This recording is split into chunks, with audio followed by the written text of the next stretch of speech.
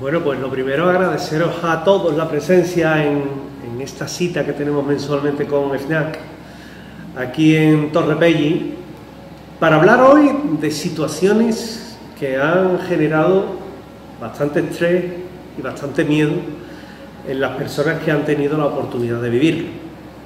Vamos a hacer un repaso de aquellos casos que quizás son poco conocidos o quizás no, pero que sí es cierto que han implicado que en la actualidad estén dentro de aquellos del misterio que consideramos expedientes X, ya no solo en la provincia de Sevilla, sino también a nivel del misterio. Fijaos que en Sevilla hay diferentes ámbitos donde nos podemos mover, desde el terreno de la ufología, es decir, toda aquella materia que tiene que ver con los ovnis, a el terreno de las casas encantadas. Hay un amplio abanico en el cual en ocasiones ha intervenido la policía local, la policía nacional, la Guardia Civil, el propio ejército y que han constituido pues todo lo que son diferentes informes que están convenientemente clasificados, es decir, no son de dominio público, pero sí es verdad que en algunos de ellos se ha tenido la oportunidad de intervenir y el conocimiento es directo, aunque se niegue la existencia de los mismos. Por eso quiero empezar por un primer caso ocurrido en una base aérea, Morón de la Frontera. Nos vamos a ir a la provincia de Sevilla. Y en el año 98, ahí se encontraba haciendo guardia un soldado de sinológica, es decir, aquellos que hacen guardia con perro, en la zona de Polvorines.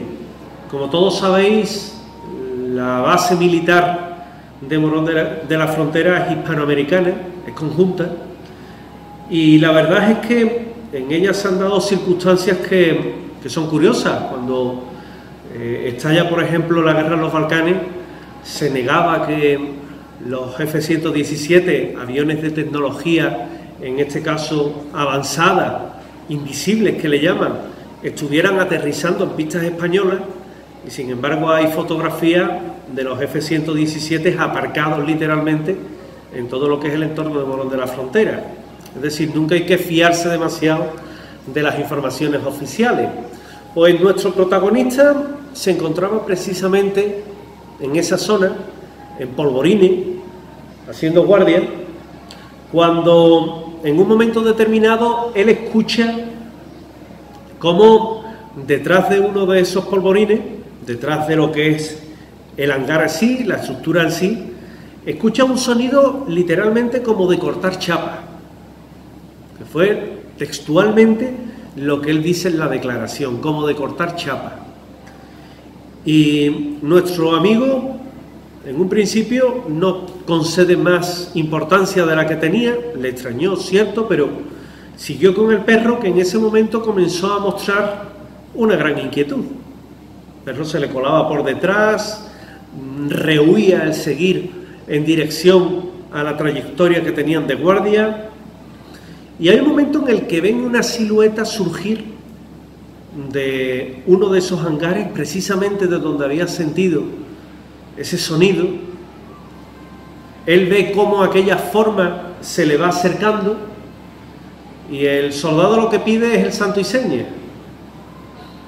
Mm, evidentemente no hay quien le responda, él lanza al perro, se olvida de muchos de los protocolos, dicho que decir, que se tienen para estos casos, pero el perro, la verdad es que la parte de él, del resguardo que había encontrado tras de sí, no sale y quizás movido por el miedo, quizás porque aquella forma se le estaba acercando demasiado, él lo que hace literalmente es quitar el seguro del arma, hacer un primer disparo, que ese primer disparo, en este caso el cargador, pues es una bala, digamos, de fogueo, una bala que es inútil, y a continuación lo que sí hace con el peligro que tiene es descargar un cargador completo.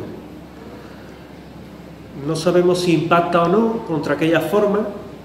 La verdad es que la, puntería del chaval habría que haberla tasado como también el SESME que llevaba Pero lo cierto es que en ese momento es lo que cuenta, es como aquella forma se agacha y cómo no vuelve a aparecer. Claro, mientras que esto sucedía, los disparos se escuchan en todo lo que es el recinto y lo que surge es una alarma a la que intervienen los CAI de la base. Los CAI son una unidad de intervención rápida que acuden de inmediato al lugar, que se encuentran al chaval con un estado de nervios tremendo. El perro se lo encuentran en un lado con una herida en el hombro, una herida no de bala, no se sabe de qué. Y simplemente, bueno, pues lo montan en el vehículo. Al perro, evidentemente, otra unidad de la sinológica de la base se lo lleva. Al chaval le dan una baja y simplemente al día siguiente, cuando pregunta por el perro, del perro nadie sabe nada, lo han trasladado, fue la información que le dan, y a él simplemente lo llaman y le dicen aquello de ver, oír y callar. Aquí no ha pasado nada.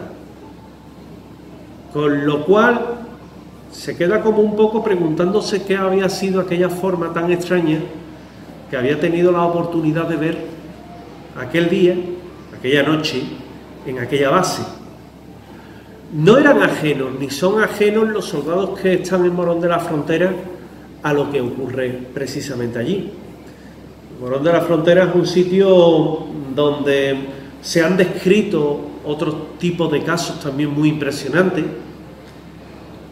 Con respecto a esa forma que surge detrás de ese hangar, hay quien lo identifica como un humanoide, hay quien lo identifica como un fantasma, la verdad es que es difícil, ¿verdad?, poder catalogarlo cuando no se ha estado allí, pero casos muy similares hay.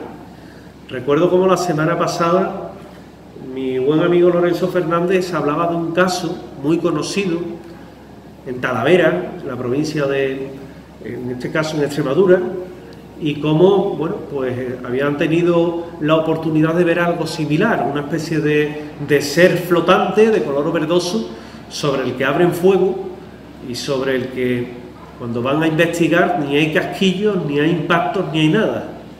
Y es otro de esos expedientes X que en este caso se guarda dentro de lo que es el ejército. Pero fijaos que al hilo de todo ello, en Morón de la Frontera hay otro lugar que le dicen la Torre del Kalahari. Le dicen así porque la torre en sí recuerda las típicas estructuras de los safaris entonces, eh, uno tras otro le han puesto la torre del Kalahari. Allí, antes de todo lo que es reformar las comunicaciones de la base, en la torre, que era una torre de vigilancia cercana al vallado, al perímetro exterior, lo que había era un teléfono. Un teléfono amarillo que estaba en uno de los laterales y que cuando se hace toda la reforma de comunicaciones se corta directamente. Por tanto, no tenía línea. Haciendo precisamente guardia allí un soldado en esa zona, empieza a, sentir cómo suena un teléfono. No concede importancia, pero el teléfono no dejaba de sonar e informa directamente, en este caso, al jefe que estaba aquella noche y bueno, con pocas ganas le dice que, bueno, que debe de ser un error o que, o que se ha quedado dormido. Pero él insistía que no, que oye, que estaba sintiendo un teléfono. Era tal la insistencia que en este caso se acerca una patrulla de los CAI de la base y cuando llega al lugar, en principio el silencio, la quietud, pero cuando lleva allí cinco minutos hablando con ellos, el tiempo de fumarse un cigarro y hablar, vuelve a sonar el teléfono y lo escuchan los tres soldados. Los dos CAI, en este caso, y el soldado de guardia. Efectivamente afirman aquello de, oye, pues es verdad, suena un teléfono, pero ¿a qué voy a volver yo a informar? Oye, que mira, que es cierto que aquí se está escuchando un teléfono. En ese momento, pues dice, espera, que voy hacia allá.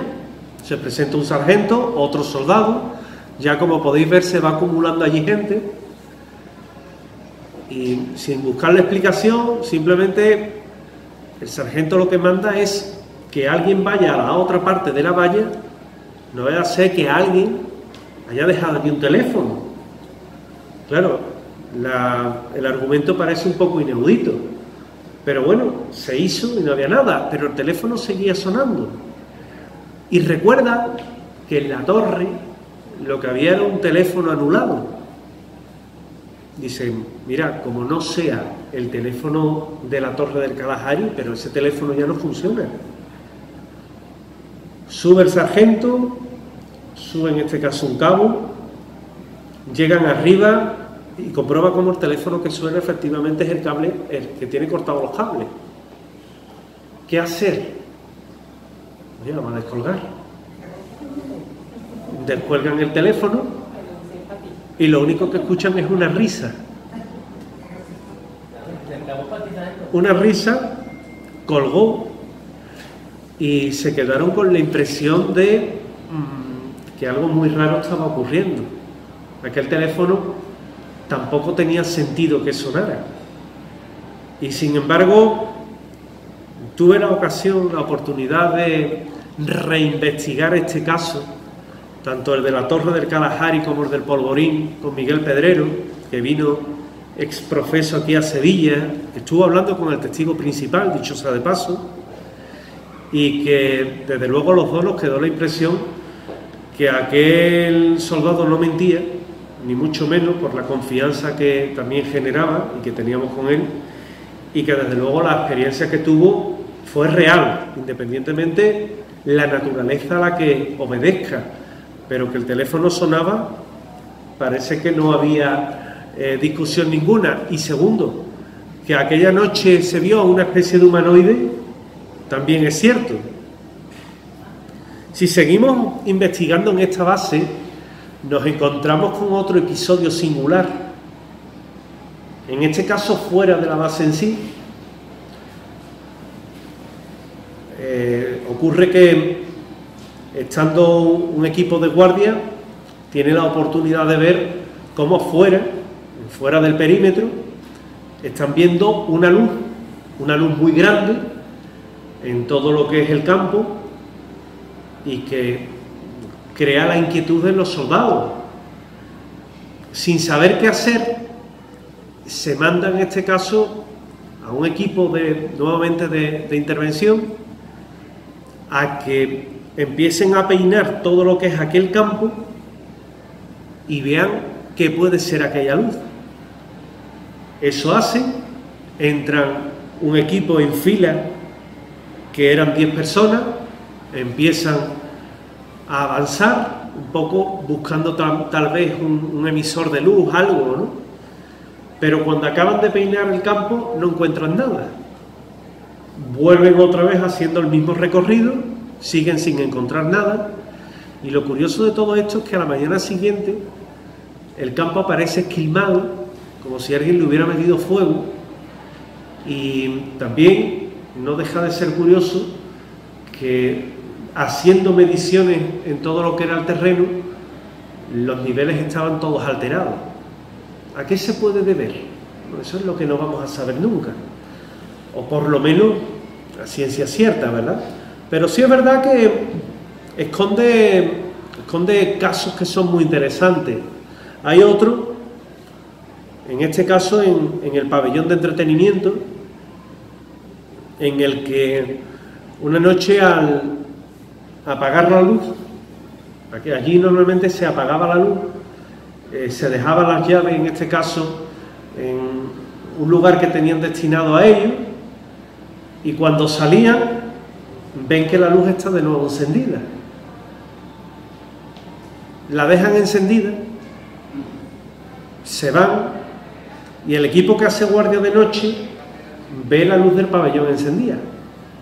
Se baja uno de ellos, abre pensando que había alguien, no encuentra a nadie, pero lo que encuentra es que sobre la mesa de billar estaban las bolas dispuestas.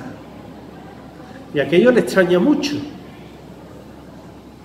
Le extraña mucho porque además no tenía sentido, porque se recogía todo.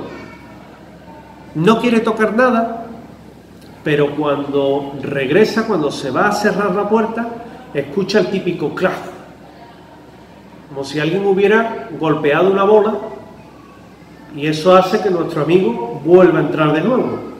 Entra y se encuentra como efectivamente las bolas están movidas.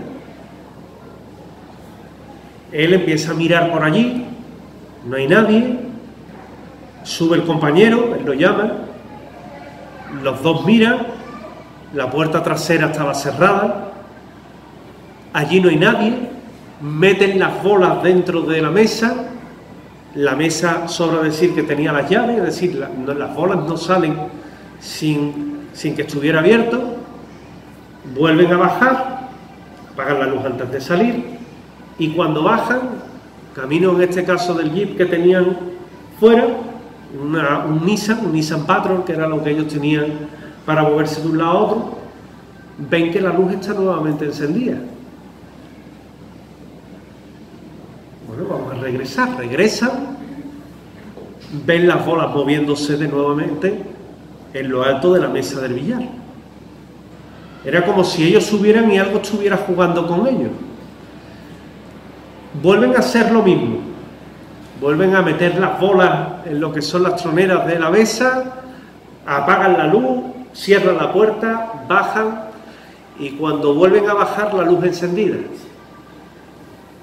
Dijeron aquello de ya no entramos más, ya el que venga luego que se encargue de apagarlo. Pero la base de Morón de la Frontera es una base que evidentemente tiene, tiene mil historias, tiene mil anécdotas. Yo os podría hablar de muchas de ellas, algunas como estas cuatro historias que os he contado con implicación familiar, es decir, sé de lo que estoy hablando. Pero independientemente de ello, son lugares donde habitualmente ocurren cosas, ¿verdad? Fijaos que cambiamos diametralmente, nos vamos de una instalación militar, de la base aérea, en este caso de Morón. Nos vamos a quedar en Sevilla y en cierta ocasión a mí tiene la oportunidad un amigo de la policía, no voy a indicar el cuerpo, ni nacional ni, local, que simplemente me dice, pásate mañana por comisaría, que necesito que veas unas cosas. Yo me paso en este caso por la comisaría donde él estaba, y saca un dossier con fotografía y dice lo que vas a ver no puedes decir nada, no puedes comentar nada. ¿eh? No te preocupes, yo no comento nada. Y me empieza a poner unas fotos en lo alto de la mesa de una ouija, de sangre, de como si hubieran allí hecho algo raro. Yo imaginé que era de un caso que estaban investigando con algún tipo de implicación, en este caso un homicidio, asesinato, algo, algo raro era. No vi toda la foto. ¿Qué ves a simple vista? Me dice él. Digo, a simple vista, alguien que ha hecho una ouija y se la ha ido de madre. Dice, efectivamente. Mm, es que tengo tal caso en el que una persona eh, mata a otra y argumenta luego que es que lo ha poseído el demonio. Y lo malo de todo esto es que en la casa donde se produce esto, actualmente pasan hechos extraños. ¿Tú te atreves a venir? Porque desde entonces están ocurriendo cosas extrañas. Sí, sí. Vamos a Triana, y en Triana que conduce a una calle bastante conocida, donde tenemos la oportunidad de entrar, donde todavía estaban los precintos en la puerta. Y una vez que entramos, bueno, pues simplemente me dijo, bueno, tú haz lo que tengas que hacer, no hay problema. Tú haz lo que tengas que hacer que mm, ya vemos un poco y ya te voy explicando yo. Se estuvieron haciendo allí mediciones, pruebas, todo negativo, es decir, no pasaba nada. Pero sin embargo, él me dice algo. Dice, voy a a un compañero, si no te importa, y nos vemos aquí con él. Va a venir él y otro agente más. Y cuando hayan subido yo te explico. Venga, vale. Efectivamente, al cabo del cuarto de hora se presentan allí dos agentes más Y me hizo mucha gracia porque uno de ellos llevaba una ouija debajo del brazo.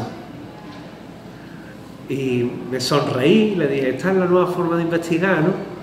Evidentemente de broma, ¿no? El señor me miró como una a la cara y me dijo aquello de estas cosas son muy serias. Yo le iba a decir, hombre, a mí me lo vas a decir. Pero bueno, me quedé callado porque la verdad es que la broma a lo mejor no la entendió, ¿no? Y simplemente eh, me lo presentó, estuvimos hablando y me invitó a que con ellos hiciera una sesión de Ouija. Fijaos, es la primera sesión que yo hice en mi vida. A mí el que me conoce sabe que no me gusta la Ouija. Pero sin embargo yo me animé aquel día y tres agentes y aquí el que les habla, pues nos pusimos a hacer una sesión de Ouija. Y ellos hacían una serie de preguntas, todas implicaban un sí o un no, y aquello iba respondiendo de una forma que era, la verdad, bastante elocuente. ¿eh? Incluso mm, ellos preguntaban, eh, ¿hemos detenido al asesino? No. ¿Conocía a la persona muerta? Sí. En todo momento aquello iba contestando de una forma inteligente y además muy rápida. De una forma muy rápida. A mí me llamó tantísimo la atención que al salir le pregunté.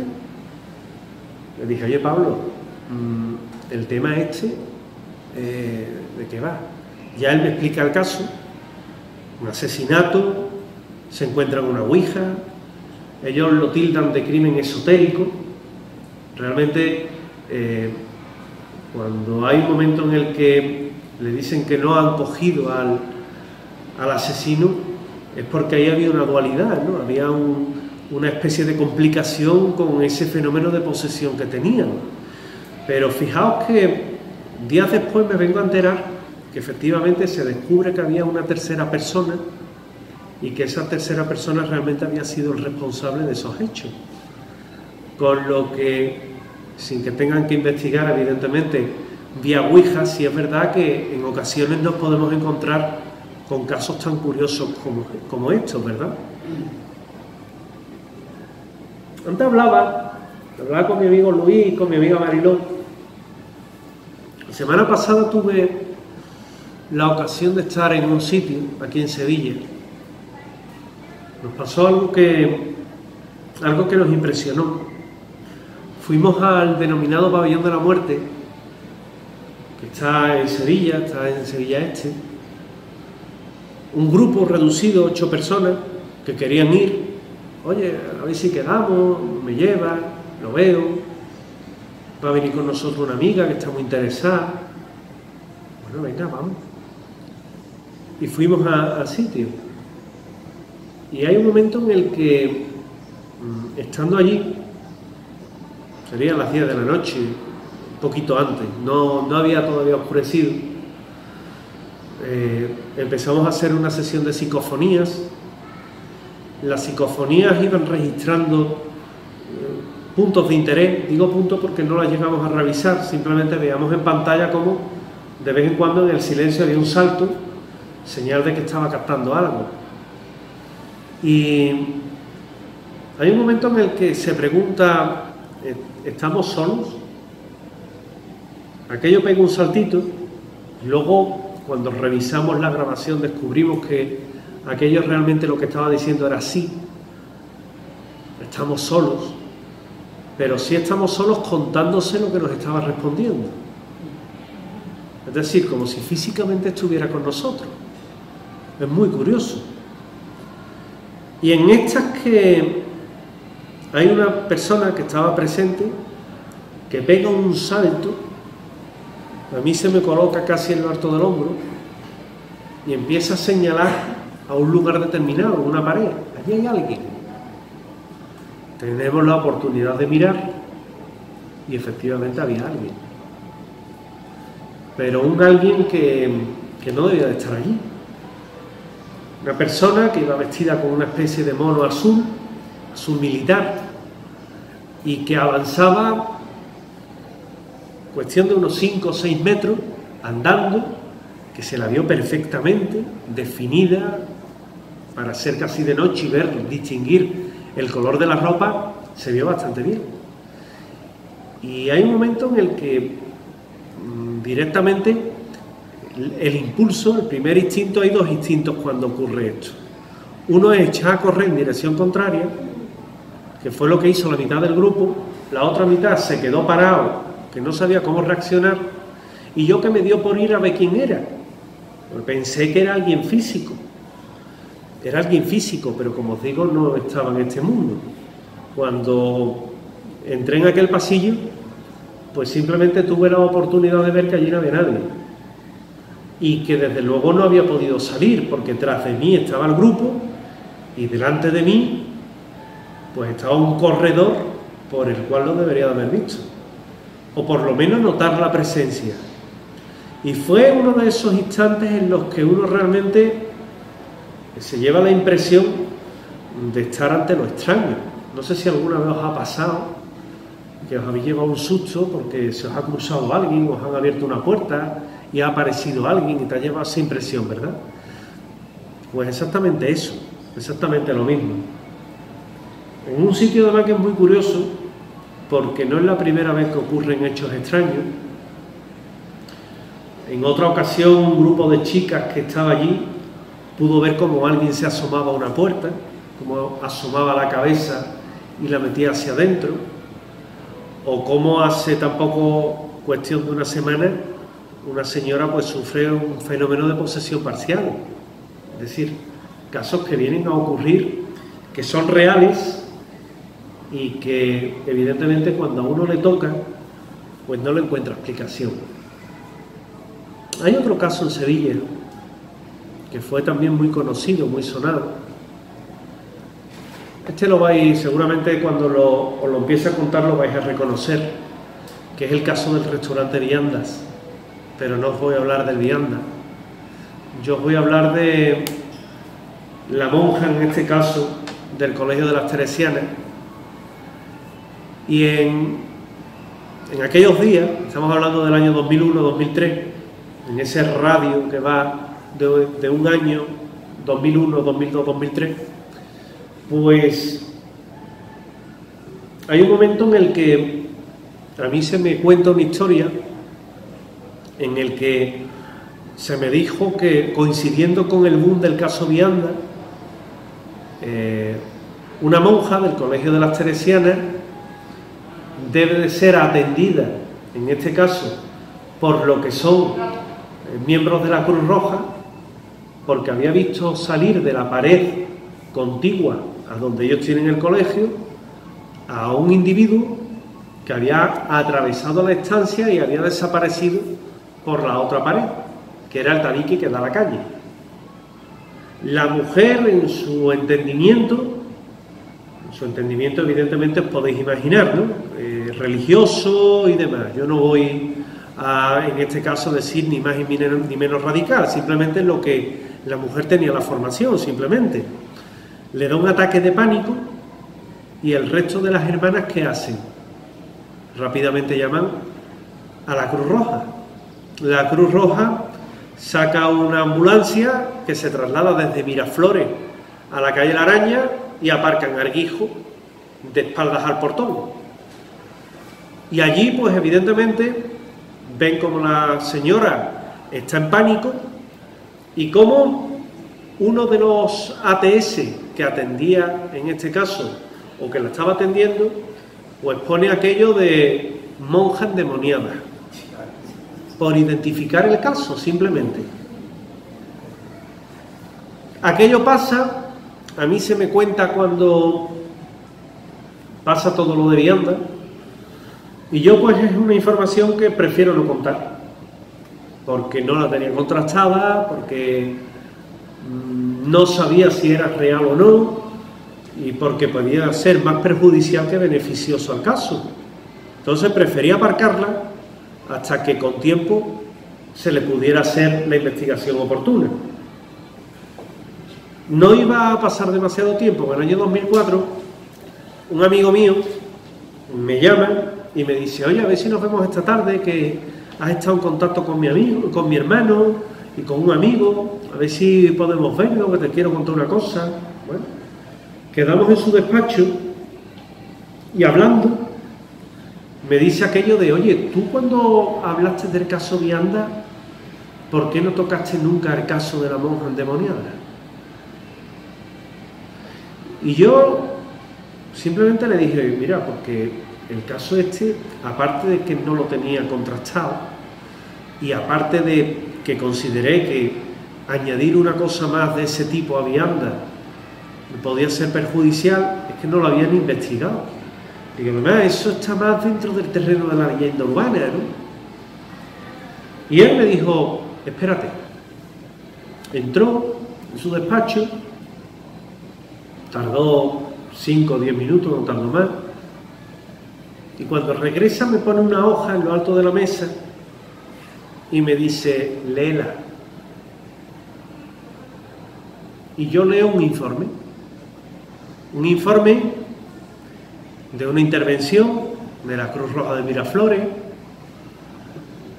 donde habían atendido a una monja endemoniada, donde se le había administrado una determinada cantidad de un calmante por vía intravenosa, y me dice, lee quién firma el parte de intervención de la noche. Yo me voy a la firma, que figuraba a mano izquierda, con un sello, y precisamente era del jefe de la Cruz Roja en Sevilla, que aquella noche estaba de guardia y que era mi amigo Julio Castilla. Precisamente la misma persona que tenía enfrente contándome esta historia. Para mí, desde ese momento, no me quedó ninguna duda, ninguna, que el caso era real. Porque además la persona que tenía enfrente era de mi total confianza y aparte tenía más que perder que ganar. Con lo cual, si alguna vez os hablan de la monja endemoniada, que sepáis que era verdad, que era cierto. Fijaos que otro caso interesante es el del Condecito. El Condecito es una finca que había en, en Rosiana, propiedad de un señor bejarano que tenía una, una enorme extensión de terreno allí, en, en suelo, en este caso de Huelva. Y allí durante mucho tiempo se iban a reunir un grupo de ufólogos muy importante que luego iban a ser los formadores de la Red Nacional de Corresponsales en Andalucía. Aquellos donde estaban encuadrados eh, Manuel Osuna, Julio Marizón, eh, el propio Pepe Rueja, eh, Helio Contreras, es decir, gente de muchísimo peso. ¿Y por qué tiene ese caso tanta importancia a nivel ufológico en Andalucía? Porque dicen unos están en contra, otros están a favor. Fotografía de tú a tú a un ser de otro mundo. Esto tomarlo como una crónica periodística, no son aseveraciones mías. Aquella noche se reúnen en la finca, en Rosiana, en el Condecito, se reúnen un grupo para tratar de establecer un contacto, un contacto en este caso con algo que ya venía siendo habitual en ellos desde hacía tiempo en las experiencias ufológicas que estaban teniendo. Ellos además, era muy curioso porque para investigar temas ovni, hacían psicofonía, practicaban ouija, era algo, era algo extraño, pero bueno, a la hora de investigar todo vale, ¿verdad? Siempre y cuando quede resultado, claro. Y en aquella investigación, que se considera pionera porque utilizaban por primera vez todo lo que eran eh, películas infrarrojas en, las cámaras de fotografía, que tenían que tener mucho cuidado con ella, era un material muy delicado, pues Julio se dirige a uno de los coches, pone la cámara en lo alto del mismo, le da al temporizador y que aquello haga foto. Y lo que tiene la oportunidad, cuando se revelan aquellas fotografías, es de ver cómo hay algo, una silueta, que se le distinguen más mal que bien los rasgos y que se dice desde entonces que era el humanoide del condecito.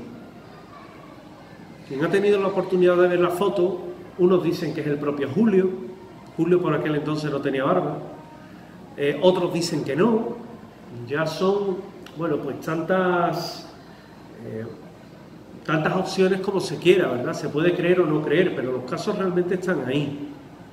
Como por ejemplo también está el de Miguel Fernández Carrasco, que a lo mejor el nombre no dice nada, pero fue la primera vez que un juzgado admite a trámite una denuncia contra un objeto volador no identificado. Yo os voy a contar la historia, porque esto parece, parece casi de broma, pero es que es verdad.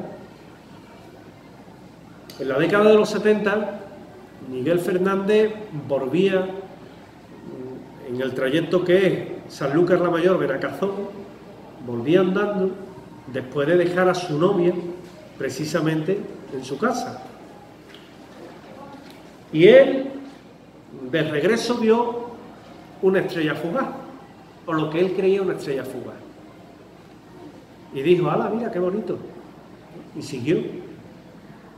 Al rato vio cómo eh, esa misma estrella surgía pero iba bajando, bajando, bajando, hasta que toma tierra, en este caso, justamente delante de él, y él lo califica como una especie de gabina iluminada, que se apoyaba en tres patas.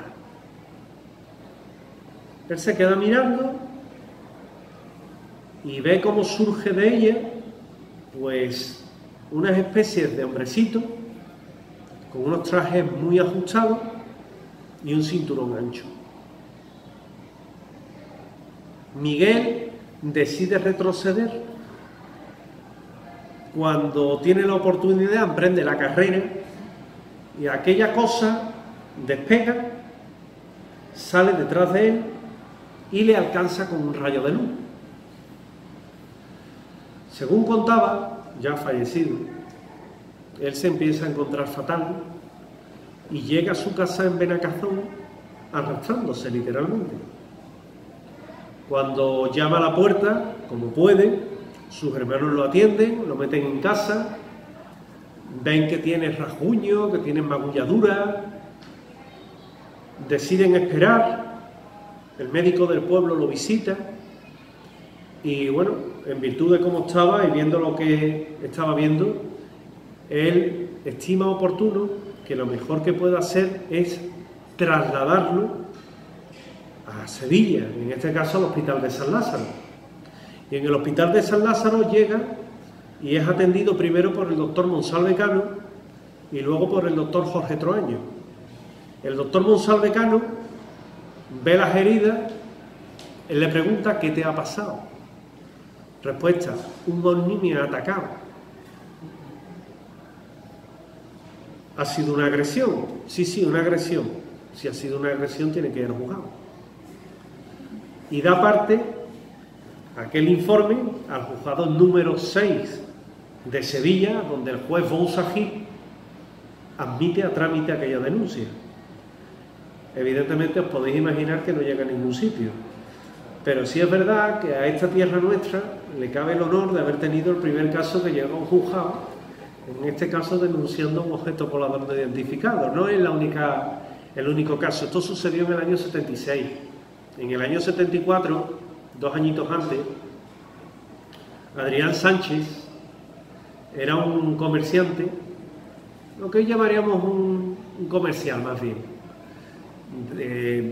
que hacía toda la zona de Analcoya, Castillo de las Guardas, El Garrobo, Perena, toda esa zona. Y él iba en, su, en, sus dos caballos, su coche, y hay un momento en el que conduciendo por aquella carreterilla, ve detrás suya cómo aparece una luz.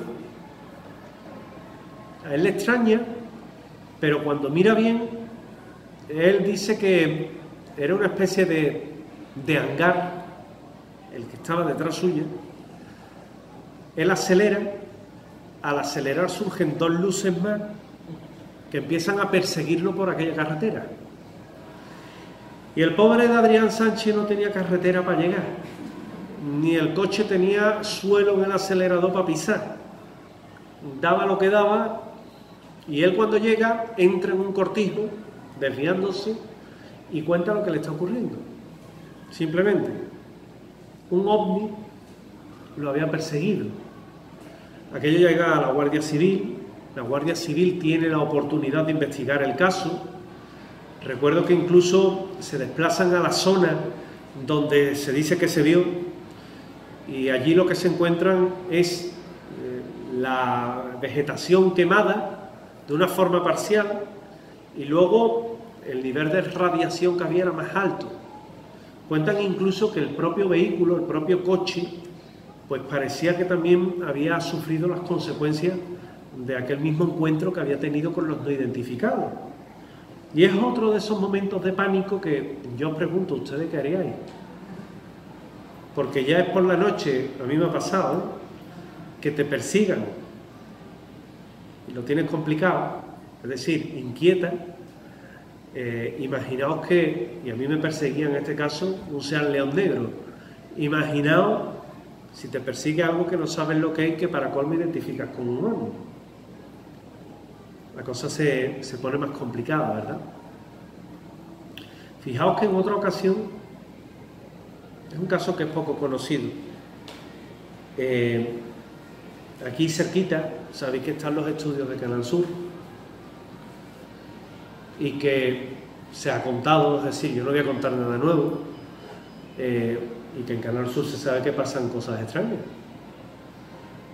Mm, lo último, experiencias personales que hemos narrado, estando haciendo el programa de la noche más hermosa, hay un momento en el que la directora del programa, Pilar Muriel, nota que baja la temperatura de una forma sensible dentro del estudio y cómo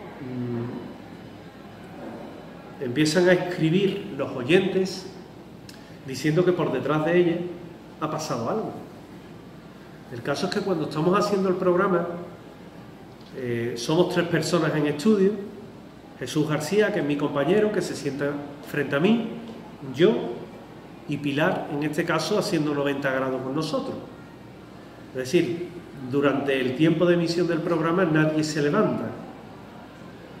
Si acaso se puede levantar Jesús para poner el móvil en la emisión que hacemos en directo vía Facebook, pero no es el camino en este caso que la gente decía que la sombra se vio. Bueno, pues en aquel mismo lugar, en otra ocasión, mientras que hacíamos el programa de radio, en el turno de intervención de mi compañero, yo noto como por la cristalera que tenemos detrás hay un señor que viene andando, pasa y sigue en dirección a los otros estudios. Yo me quedo mirando porque claro, a las dos y media de la mañana no era una cara normal, no era una cara habitual de las que estamos allí, que más o menos nos conocemos el turno de noche. Y cuando ha acabado la intervención mi compañero Jesús García, por línea interna, el técnico me dice, tú lo has visto, ¿verdad? Que lo has visto, que lo has visto como yo. Ah, le digo, sí, lo he visto. Pero claro, yo pensando que era alguien. Y entonces es cuando él sale, él sale de la pecera y me dice aquello, ese es el fantasma. Digo, pero si yo lo he visto como te veo a ti, es el fantasma. Y claro, ya te quedas un poco así sorprendido cuando ni Pilar ni Jesús tampoco ven nada.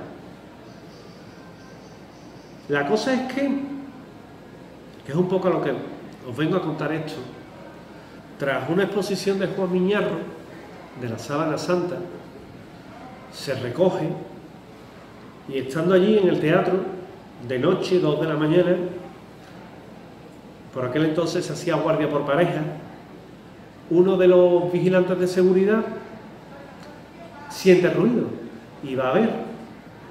Y cuando va, se encuentra un niño que sin hablarle, simplemente lo mira y le dice, no te voy a hacer daño.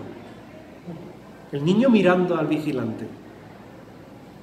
El vigilante no sabía dónde agarrarse. Dio un paso atrás y el niño desapareció. Y cuando llegó a la zona de control que hay en Canal Sur, que está justamente por la puerta que da a la calle de, la discoteca Río, simplemente el compañero me dice Alejandro, qué blanco te veo, ¿has visto un fantasma? Dice, he visto algo muy raro. Y le contó el qué. Claro, al día siguiente, cuando trasciende, lo cuenta eh, el propio Tom Martín Benítez, lo cuenta Olga Bertomeu, lo contó Luis Vara en, La Noche Más Hermosa, es decir, lo contaron todo.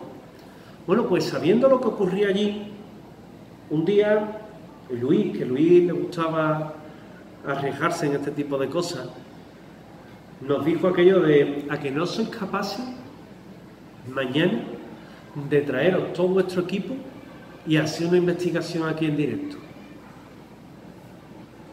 Claro, Luis, encantado, lo dijimos nosotros. Pero tenemos permiso, ¿no? Tenemos autorización, que, hombre, siendo de aquí, con un programa aquí y demás, lo que no queremos es problemas. No, no, no preocuparse que yo hablo con, con Araceli, nos dan permiso y lo podemos hacer. Efectivamente, a, la mañana siguiente nos comunica que sí, que teníamos luz verde para investigar.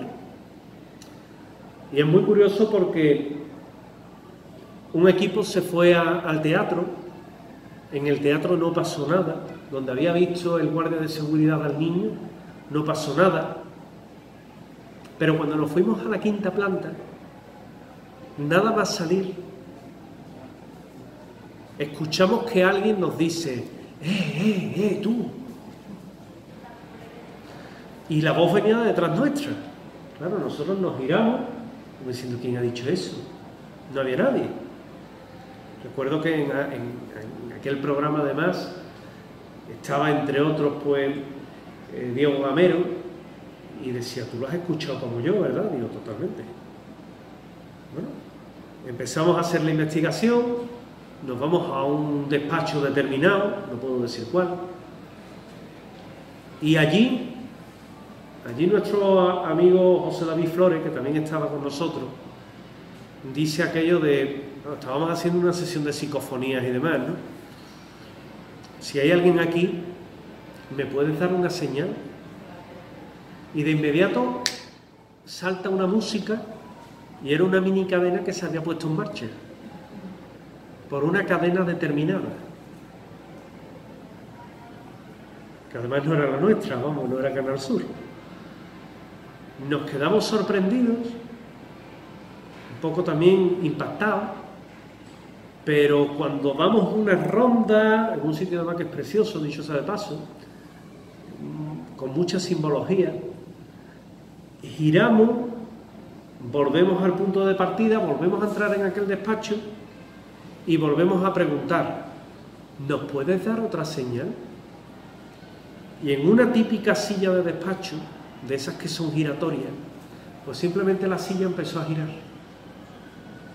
Sola. Claro, nosotros lo contábamos, ¿no? Decíamos, Luis, es que la silla está girando sola. Y te daba el, el impacto de ver aquello, pues evidentemente era más fuerte que cualquier otra cosa y te vas con la sensación de haber contactado con algo. Tuvo la oportunidad mi compañero Jesús García de irse al, baño y en el baño él iba eh, con sus velitas y demás para hacer el la famosa invocación a la Begoña, a ver qué pasaba. Había un espejo, teníamos velas, era de noche, se atrevió con aquello, todo aquello grabado evidentemente con, cámara, pero he de decir que no se apareció nada, que bastante habíamos tenido ya aquella noche, ¿verdad? Y hace ya muchos años, muchos, un amigo mío me dijo aquello de, oye, mm, ¿tú quieres entrar en Miraflores? El psiquiátrico. Era el año 2003. Digo, sí, claro. Yo por aquel entonces estaba en Milenio 3, de jefe de corresponsales, y cualquier caso así que surgía interesante me gustaba, porque luego se lo comunicaba a Iker y Iker lo metía en el programa, evidentemente, con sus testigos y sus cosas, todo lo suficientemente acreditado y aseverado. Y en aquella primera visita que yo hago al, al psiquiátrico de Miraflores, yo digo siempre que era como estar en dos mundos. Porque era un edificio que tenía una parte activa y una inactiva. Claro, yo entré allí con autorización. Muchos luego entraban, pero entraban por un agujero. No, yo entré con autorización. Entonces simplemente la persona que me lo mostró dijo, la parte que tú quieres ver está allí detrás de aquella puerta. Vamos hacia allá. Vamos. Y era como abandonar un primer sitio pintado, bien iluminado, abrir la puerta, abrirla y encontrarte las pinturas caídas, era todo mundo, las sillas de ruedas por allí en medio, todo comido de polvo. Y allí tengo la oportunidad, bueno, os puedo decir que informes médicos en los archivadores, todos los que quisierais. Seguía la información allí. Y allí tuve la oportunidad de, mientras estaba, estaba con una persona que en este caso fue la que se brinda a enseñarme aquello, ella siempre me decía, yo aquí no estoy mucho tiempo, ¿eh? aquí nos vamos ya, ¿eh? cinco minutos y nos vamos. ¿eh? Yo decía, chiquilla, ya que me hemos autorizado, déjame verlo tranquilo. Poquito tiempo, ¿eh? Por poquito tiempo.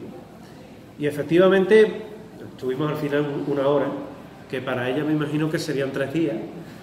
Para mí fueron cinco minutos. El tiempo hay que ver cómo cambia en función de la persona. ¿eh? Pero sí es verdad que mm, cuando estábamos allí grabando, cuando bajamos a la zona, en este caso en la que estaban los refrigeradores y demás, allí lo que pudimos sentir es como alguien lloraba, como alguien eh, se quejaba y como incluso pudimos ver algunas de las habitaciones. Recuerdo una que era, estaba alicatada entera y era cuando les daban las típicas duchas frías a lo que eran los pacientes mentales como tratamiento. O cómo quedaba una sola habitación acolchada, bastante, bastante mal estado, en los que también, mm, estando allí, tuvimos la mala suerte que se cerró la puerta. Quiero creer que fue un, se cerró en este caso accidentalmente, no quiero creer que nada lo cerró, pero puedo garantizar que fueron los instantes más largos de mi vida. Yo no sabía, yo lo primero que pensé es ver si tenía cobertura en el móvil. El móvil que por aquel entonces era un Motorola así de chico, porque era cuando íbamos a los móviles pequeñitos. Ahora vamos a los móviles grandes, ¿no? Ya mismo vamos a llevar una tabla en, la oreja, ¿no? Pero sí es verdad que, que, fueron instantes que se hicieron, que se hicieron años, ¿no?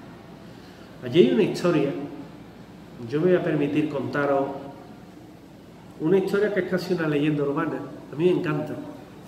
Porque cuentan que una chica iba conduciendo por la, por la Supernorte, que le llaman a la carretera que pasa junto precisamente lo que son las instalaciones del antiguo psiquiátrico. Esa parte del psiquiátrico ya la han tirado, ya está derribada, ya no existe. Siguen pasando cosas, ¿eh? Pero allí en concreto no existe ya esa parte. Y se le pincha una rueda se ve obligada a orillarse a un lado, teniendo en cuenta que allí hay poco arsénico. Y la chavala, pues, se ve en una tesitura grande, no sabía cambiar las ruedas. Ay, por Dios, si a mí ya con echarle gasolina al coche es bastante, pensaba ella. Y ya eso para mí, esto se, se arregla solo. Pero claro, tenía que intentarlo. 4 de la mañana, sola, en una carretera que por aquel entonces no pasaba ni un arma, y ve aparecer a lo lejos a un señor vestido de blanco, como en pijama. A ver, ¿este qué quiere? Venía de la carretera precisamente que se une a la Supernorte, que es la que viene del psiquiátrico. Y la mira. ¿Qué te ha pasado? ella rápidamente piensa, un loco. Dios de mi vida, ahora un loco. Ni batería en el móvil, un loco, la rueda pinchada, yo estoy por irme corriendo. y le dice, se me ha pinchado la rueda y no sabes cambiarla. No, yo te ayudo. El hombre le pide el gato, le pide que si tiene calzos para calzar la rueda, le va cambiando, en este caso le quita los tornillos, los pone junto al arcén, la chavala allí a la vera, cambia la rueda, saca la rueda, le pide la de repuesto, la chavala coge la de repuesto y cuando se está acercando le pega una patada, en este caso a los tornillos, y pierde los tornillos porque los tira a la alcantarilla. Por Dios. ¿Y ahora yo qué hago? El loco la mira y le dice, no es tu noche, no es tu noche. Dice, no te preocupes la chavala, ay, ¿ahora qué hago? ¿Ahora qué hago? Si yo no tengo móvil, le dice ella porque no tenía batería, le dice el hombre, se saca los, los bolsillos así sin nada, le dice, yo tampoco, pero no te preocupes, esto lo arreglo yo. El hombre encaja la rueda y lo que hace es que a cada rueda le quita un tornillo y la engancha y la baja y se le queda mirando, le dice, ah, ya te puedes ir. La chavala, no, con miedo, pero no sabía cómo agradecérselo. Y el loco simplemente la mira, como leyéndole el pensamiento, y le dice, Dios me quitó la cordura, pero no la razón. Y en este caso, pues la chavala se pudo ir, siempre agradeciendo lo que aquel hombre había hecho por ella.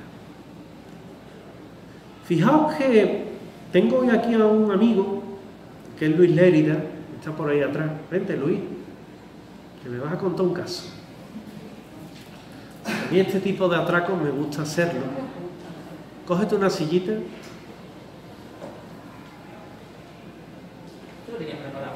Totalmente. Casi preparado. Siéntate aquí conmigo, que no perdamos la cámara. Aquí. Aquí está mi amigo Luis. Mi amigo Luis atesora casos muy buenos y con él he tenido la ocasión en estos últimos días pues de investigar un caso muy importante. Yo creo que va a ser caso del año en el Ayuntamiento de Manzanilla. Cuéntanos un poquito el caso del Ayuntamiento de Manzanilla, Luis, porque ese es otro caso por lo menos a mí me pasó algo en un baño que los pelos me los puso de punta. Otra puerta. Eso sí, otra puerta. Otra puerta. Los míos no son las puertas. Lo tuyo no. Cuéntanos el caso, Luis. de Sevilla es... eh, se reúne el equipo de gobierno de- del pueblo. Yo vivo aquí en Manzanilla, soy de aquí de Sevilla, pero vivo allí. Y me cuenta el teniente alcalde y el alcalde de que ellos suelen ir de noche a trabajar y suelen escuchar un correteo de niños, la fotocopiadora de buena primera expandir papeles, varios, varias cosillas, ¿vale? Entonces se ponen en contacto conmigo, me conocen de que tenemos un grupo de investigación, se ponen en contacto conmigo y me dan vía libre, autorizado tanto alcalde como teniente alcalde para hacer dicha investigación. Hacemos una primera previa investigación nosotros, donde tenemos unos resultados de una psicofonía, una mujer hablándonos, eh, las puertas se escuchaban como abrirse y cerrarse. Yo me dio a hacer psicofonía, me siento en un sillón que hay arriba, cierro los ojos y de buena primera escucho un andar. Me da por abrir los ojos, le digo a mi hermano y a, y a Lolo, que son los componentes del grupo, oye, ¿estáis arriba? Dice, pues no, no estamos arriba, llevamos unas máquinas también que son las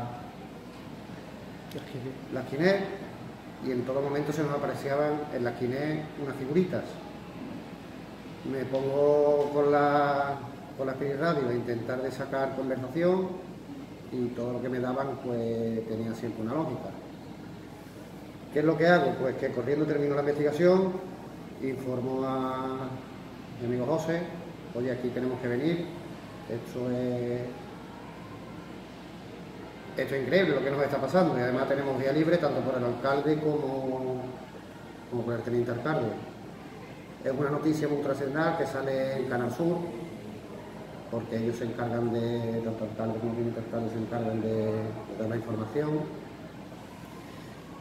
Y la segunda vez que fuimos fue Jueves Santo. Jueves Santo, tuvimos la oportunidad de estar Jueves Santo, y ahí pues ya fue el desmadre, tanto compañero Luis también como, como Mariló, como Leo. Y yo le insisto mucho a José de que lleve un amigo nuestro, que es conocido por, mí mediante José en el tema de la radio, que es Rafael de Alba. Él es un... No quieren que lo llamen médico. No, a él no le No, gusta le llamarse médico. Él es más un canalizador de energía, dice. Pero una persona, fuera parte ya hemos hecho más investigaciones con él, nos lo llevamos hace dos semanas también y fue increíble. Entonces, gracias a él se ha encontrado una trama, tanto del siglo XV como del año 36, como del año actual, en el ayuntamiento que es increíble, a tal punto que va a llegar a haber hasta incluso denuncias. Denuncias. Lo más gracioso es que no ha acabado todo ahí, porque acabo de recibir, ¿lo puedo poner? Sí, sí, claro, por supuesto. Acabo de recibir un mensaje, haciendo ya la tercera o cuarta investigación, acabo de recibir un mensaje del teniente alcalde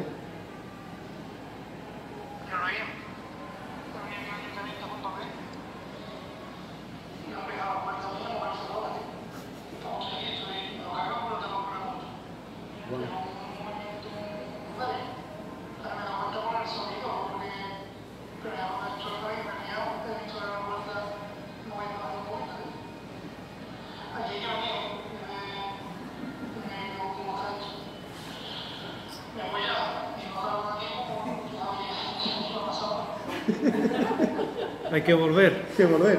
Hay que volver a, a Manzanilla porque ya había escuchado al primer teniente de alcalde. Está un poco nervioso porque la puerta se mueve sola. Sola, sola. Y nada, un sitio donde hemos tenido muchas respuestas.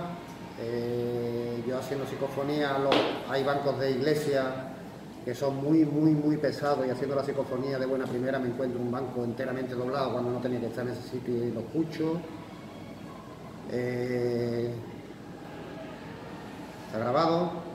Arriba estamos haciendo, cuando estaba, hicimos dos grupos, estaba el equipo de ellos abajo, nosotros estábamos arriba. Estábamos en una de las habitaciones de archivo y con la Kinect estamos, dimos con unos puntitos y se apreciaba como si fuera un niño, una, figura pequeña. Hago varias preguntas, digo, oye, ¿eres, eres un niño? Y me dijo, infantil. ¿Qué te pasó? Creo que me dijo recordar eh, traición. Y ya le digo, ¿me puedes decir tu nombre o quieres decirme tu nombre? Obligándolo. Y me dice, Diego. Entonces eran preguntas que eran muy coherentes y las respuestas eran muy, muy inteligentes. El caso más curioso que nos pasó, tanto a Luis como a mí, como a Rafael de Alba, es que estábamos abajo, nos íbamos ya de la investigación, y Rafael empezó a tener una sensación diciendo, vamos arriba, estoy notando algo, me están diciendo algo del 1500, 1538, 1550 y algo, 1500... Llegamos a lo que es la sala de archivo, la sala de archivo está, hay unas cajas de cartón todas archivadas, no hay nada, nada desordenado, nada de nada de nada. Mete Rafael de Alba la mano en, arriba de las cajas, entre las cajas y la, la baldosa, se saca un libro de terciopelo chiquitito, aproximadamente como el móvil, precioso, color rojo púrpura, precioso el libro.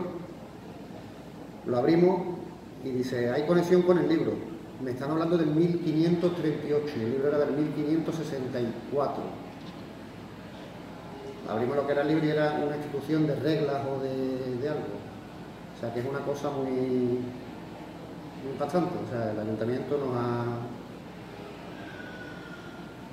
Habrá que volver. Hay que volver. Hay que volver. Hay que tenemos, volver.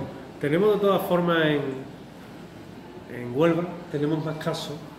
Habrá que ir visitando, ¿verdad, sí, sí, sí, Luis? sí. Y habrá que ir, y habrá que ir viendo. Yo para despedir, pues me quedo con lo último de la Facultad de Bellas Artes. En Bellas Artes siempre pasan cosas, pero en la Facultad de Bellas Artes lo último fue, el, fue la semana pasada hablando con una señora del personal de limpieza, Pilar, que me cuenta su experiencia allí.